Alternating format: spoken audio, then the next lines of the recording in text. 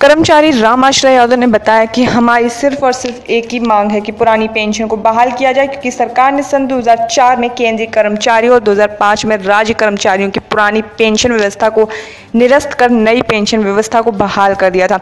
यह पेंशन व्यवस्था शेयर आधारित है, जो कभी भी कर्मचारियों की मेहनत की कमाई को डुबो सकती है। इसलिए हम लोग इसे समाप्त कराकर हम सभी कर्मचारी उनतीस तीस और इकतीस अगस्त को तीन दिवसीय कार बहिष्कार का जिला विद्यालय निरीक्षक कार्यालय पर धरना प्रदर्शन करेंगे। इसके साथ ही जिलाधिकारी को मांग पूरा करने के लिए अपना मांग पत्र सौंपेंगे। इसके बाद भी अगर सुनवाई नहीं हुई तो आगामी 8 अक्टूबर को प्रदेश मुख्यालय लखनऊ में विशाल महारैली किया जाएगा।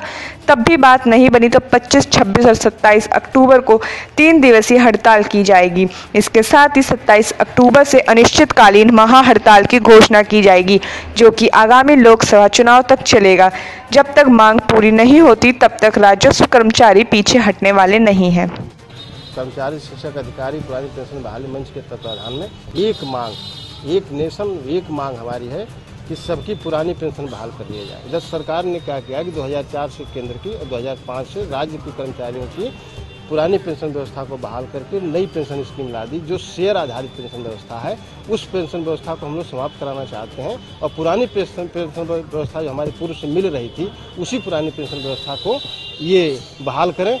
इसमें सबसे बड़ी बात यह है कि इसमें 50 सांसद ने 2013 में पत्र लिखा है, जिसमें प्रदेश के मुखिया माननीय योगी आदित्यनाथ जी और गृह गृह मंत्री भारत सरकार राजनाथ सिंह जी ने भी पत्र लिखा है कि पेंशन इनका अधिकार है और पेंशन की इनकी पूर्ण बहाली की जाए, फिर भी सरकार हमारे साथ जो इंसाफी नहीं कर रही है और पुरानी पेंशन को बहाल नहीं करी। जबकि अपने लिए उन लोगों ने शपथ लेते ही पुरानी पेंशन की व्यवस्था कर ली और उनके न रहने पर उनके परिवार के उनके बीबी को, बच्चे को पेंशन मिलेगी, लेकिन हमारे यहाँ, हमारा कर्मचारी भरी जवानी से नौकरी करेगा और 60 साल की उम्र में रिटायर होगा और रिटायर होकर जब घर जाएगा तो उसको कुछ नहीं मिलेगा क्योंकि शेयर आधारित पेंशन है। इस पेंशन में पैसा डूबने का, की पूरी संभावना है और पता चला कि जब हम रिटायर हुए तो हमारा पैसा डूब गया, हमें एक पैसा नहीं मिला, हम खाली पड़ जा रहे हैं। मांग अगर पूरी नहीं हुई तो तीन दिन का एक कार्य बहिष्कार है और और आठ अक्टूबर को महारैली लखनऊ में होगी और 25, 26, 27 को तीन दिन की महाहड़ताल की घोषणा है।